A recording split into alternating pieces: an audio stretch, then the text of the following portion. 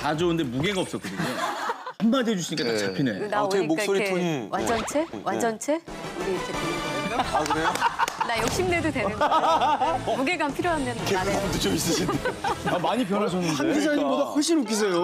아니 변한 게 아니라 나 네. 원래 이런데 뉴스는 자기가 잘 표현이 안 되니까 네. 많이 감춰져 있었죠. 아, 그랬구나. 네.